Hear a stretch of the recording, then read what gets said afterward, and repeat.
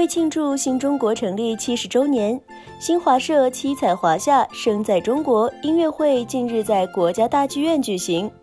此次演出八首原创歌曲首次登台献唱，从回望复兴之路的寻和一路走来，到守护火种与希望的无限少年的荣光，再到歌颂拼搏精神的守梦人，你是我的英雄。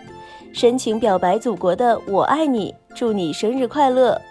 把首新歌朗朗上口，或让人感动泪目，或让人燃情激动。非凡娱乐实时报道。